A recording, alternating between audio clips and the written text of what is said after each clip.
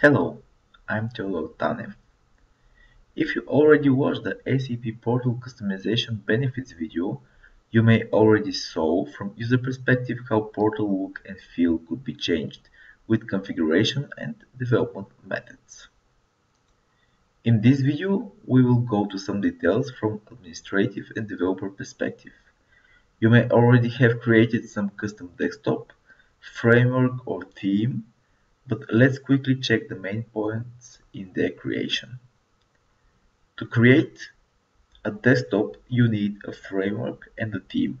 The framework creation could be easily done only with one copy.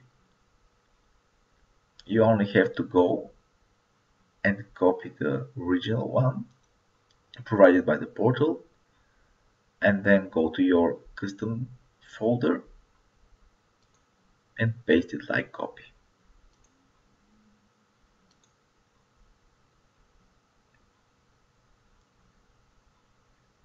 Theme creation could be done in the same manner, but in this video we're going to use new tool for themes called Ajax Theme Studio.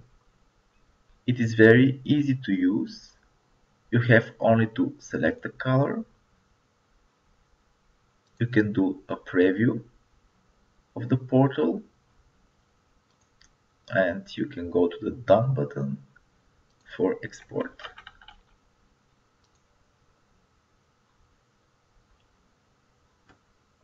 And just save it. The problem with it is that there are few colors. You can see here that you're not able to use any color you like and also the color is set to each element of the portal. So if you need different colors for the portal, you will need to do some additional customization of the theme that you just exported. The theme could be imported to the portal from the transport themes view. You only have to go Select the exported theme and import it to the portal.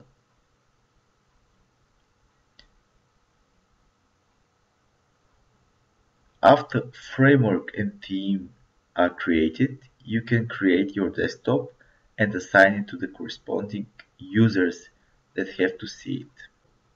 You have to create your desktop.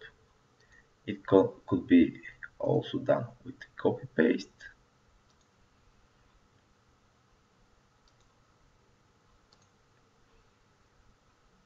when you have your desktop done you can open it and just assign your new Ajax framework page. Remove the old one. And you can add the new theme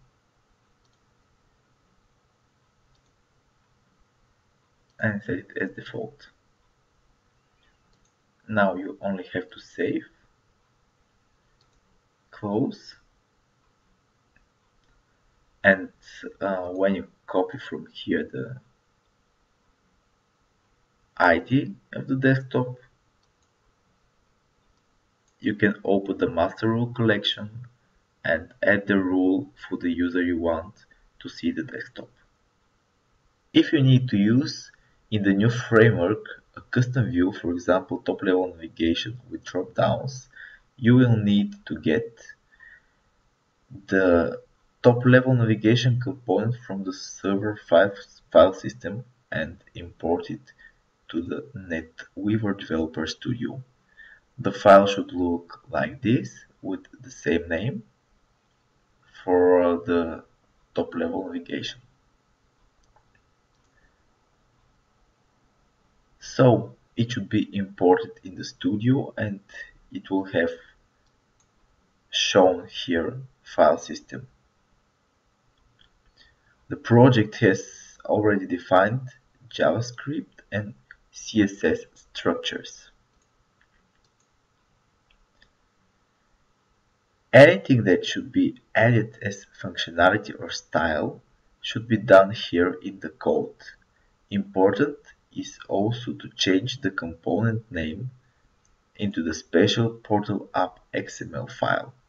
So on deployment, the application will be recognized as another one.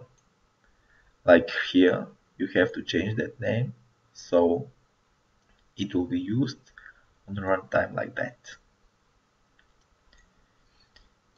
If you want to add new functionalities here, you will have to modify the default ones, like here.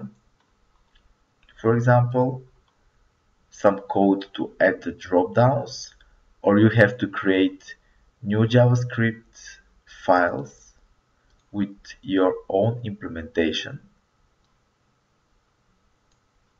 that have to be maintained and included into the default JavaScript files. After you're finished with your development, you will need to deploy an EAR file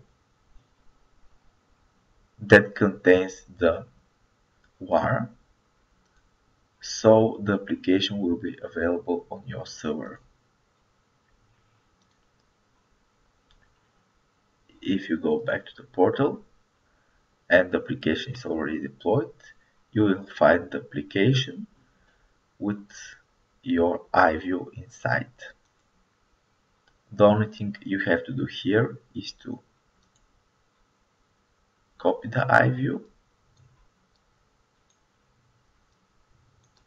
go to your custom folder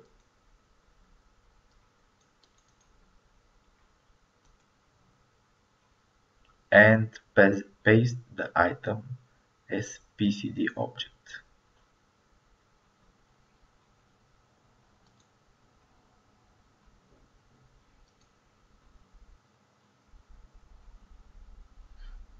Now if you open the framework page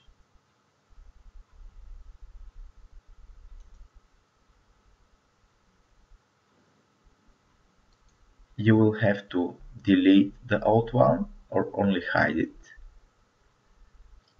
and on its place you have to include the new one so it will be visible instead the default one. In this example I'm going to make invisible the Ajax top level navigation.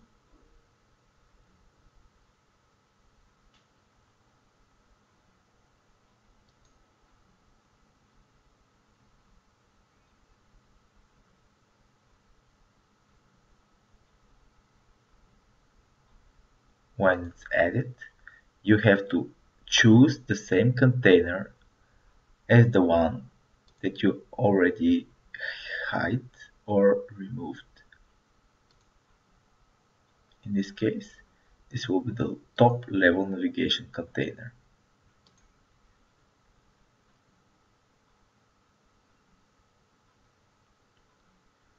You only have to save your change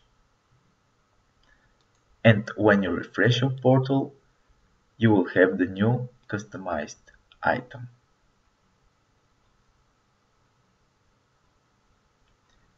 Thank you for watching, I hope this video was helpful for you.